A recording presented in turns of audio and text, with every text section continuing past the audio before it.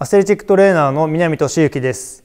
今日は、え皆さんにアスレチックトレーナーの仕事というのがどのようなものなのかというのをお伝えしていきたいと思います。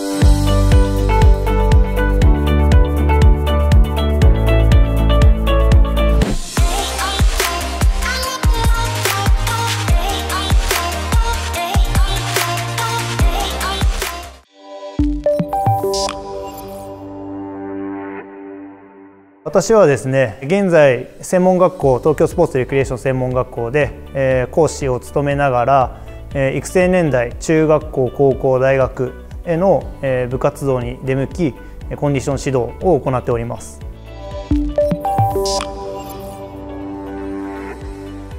私自身が、高校に、入学するにあたってスポーツ推薦で、入学をしたんですけども、バスケットボールをしていてえーまあ、1年生の時にですね、えー、すねの骨を折る大怪我をしてしまいまして約1年間、えー、復帰はできないと言われたのでその間に、えー、自分自身でその当時はトレーナーさんとかいなかったので、えー、自身で、えー、トレーニングメニューを考えてでどうやったら早く復帰できるのかというのも考えながらトレーニングをしていたのでその際にえトレーナーという職があるというのに、えー、気づきえー、こういう職もサポートする職っていうのも、えー、楽しそうだな、えー、ぜひ、えー、選手のサポート側に回ってみたいなと思ったのはその時です。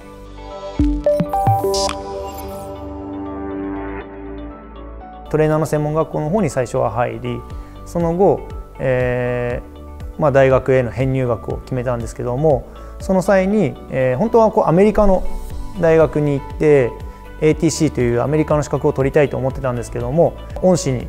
当たる方ではあるんですけども、え、君は日本で学べることが、え、本当に学びきったのかもっと学べることがあるんじゃないかというお言葉をいただいてその恩師の先生のところで学んでみたいと思って大学に編入をしてでそちらでアスレチックトレーナーという資格を取得しました。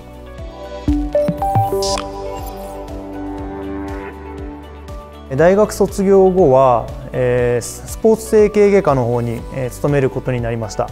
えー、まずですね、えー、大学の方にそのスポーツ整形から求人があってアスレチックトレーナーを整形に入れることによって運動療法であったりとか地域の学校への貢献というのをしていきたいというその委員の、えー、コンセプトがあったので、えー、ぜひ私もそこで活動したいと思い、えー、スポーツ整形で3年間勤めることになりました。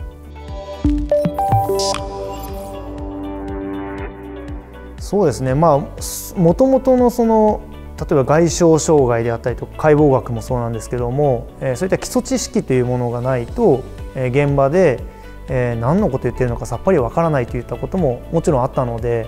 そこは本当に勉強不足だなというのを痛感したところです。なので、え、学校で、まあ、基礎知識というものをしっかりと学んでおくことが現場に出た時に、えー、その活動の深みを増すことにつながるなと思います。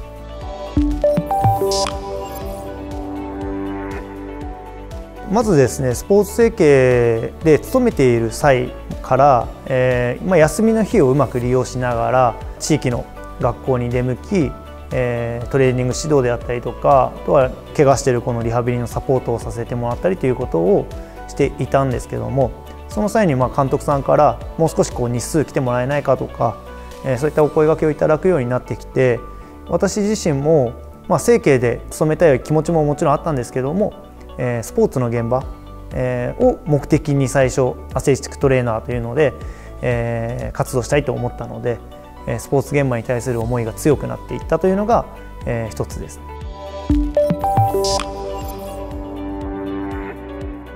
私が最初指導していたチーム、えが練習試合であったりとか大会で対戦した相手から監督さん同士でこう話があったりとかで体強いけど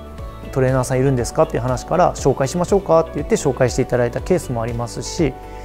またあのトレーナー同士での会話の中でもこういう仕事あるけどどう？っていうお話をいただいた中で私が請け負わせ請け負わせてもらってる、えー、といった仕事もあります。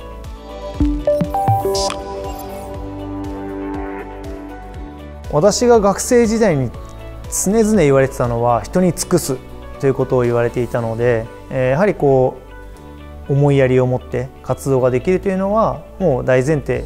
であり、えー、気配り目配り心配りできるというのが大事だと思うんですけども、まあ、私個人的には、えーまあ、自分自身が選手を見たり何が良くて何がダメなんだろう怪我をした時に何で怪我をしたんだろう怪我しないためにどうしたらいいんだろうっていうのをすごく考えることが多いので、えー、こう分析が好きな人なんでこうなるんだろうっていう疑問を持てる人というのはアスレチックトレーナーに向いてるんじゃないかなっていうのを感じます。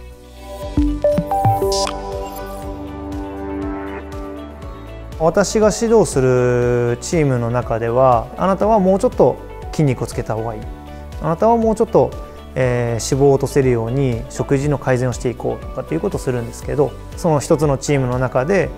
こうバスケットボールで言えば5人がコートに立つんですけどその5人のうち何人以上が A タイプ以上とかこのタイプがいたら勝率が高いとかそことの相関関係というのが見れてきたので、えー、私自身はそれを監督に提示することによって体を鍛える大切さというのを、えー、監督が理解をしてでウェイトトレーニングであったりラントレであったりにうまくこう時間をもらえるようになっていったのでその中でこうアプローチトレーニングメニューを与えてで実際にその A タイプ以上が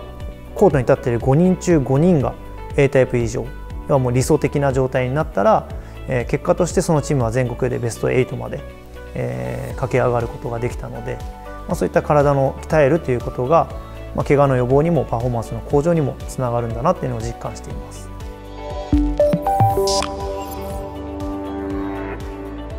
私自身はもう常にモットーとしているのは思いやりを持って行動することというのはもう大前提にあります。でその中で、えー、まあ私はまあアスレチックトレーナーという指導者ではあるんですけどもこうあまりこう指導者指導者、えー、したくないなっていう思いが私にはあって、えー、私は指導者ではあるんだけども選手にとって、まあ、良き理解者要は一番近くで一番応援してくれてる人というふうに思ってもらいたいなと思って、えー、活動しています。指導者ってなんかこう壁を感じるんですけどそうじゃなく何でもこう相談をしてくれる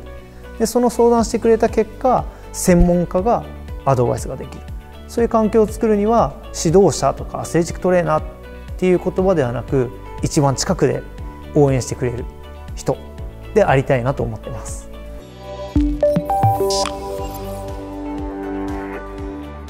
まあ、やはりこうアスレチックトレーナーというのは結構目立つのがテーピングをしている場面であったりとかリハビリをする場面であったりとかっていうのが多いんですけども私の中ではこう予防をすること怪我をしない体づくりをするということが何よりもの仕事だと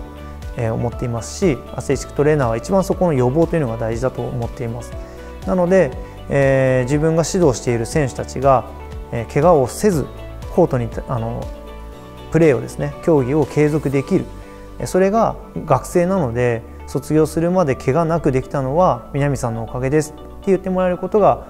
えー、とても嬉しいことにもなりますし、まあ、その中でも競技なので怪我をしてしまう人ももちろんいるんですけども、えー、怪我をしてしまった選手が、えー、その後復帰をして復帰をした時に、まあ、パフォーマンスを落とすことなくむしろ向上した状態で復帰ができれば、え、選手も、えーまあ、最終的には、えー、リハビリ頑張ってよかったと。長いリハビリだけどやって復帰できて活躍できてよかったっていうふうに言ってもらえたりすることが私にとってはすごく嬉しいことです。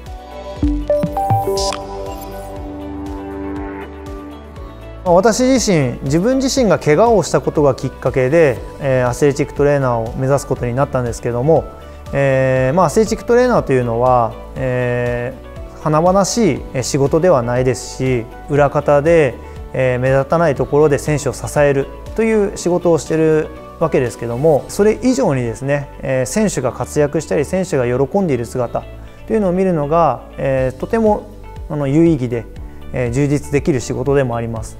なので私自身すごく意識してるのは、えやりたいことたくさんあるんですけどもやりたいことのためにやりたくないことがとても増えるんですけどそのやりたくないことをいかに楽しむかっていうのがとても大切だと思うので、えー、選手が苦しいトレーニングもやだリハビリやだって言ってる中そこをいかに楽しくやるぞって思わせられるかえー、そういった、えー、同じ意思を持ったトレーナーが増えていくといいなと思っているので、えー、ぜひトレーナーを目指して一緒に頑張りたいなと思います。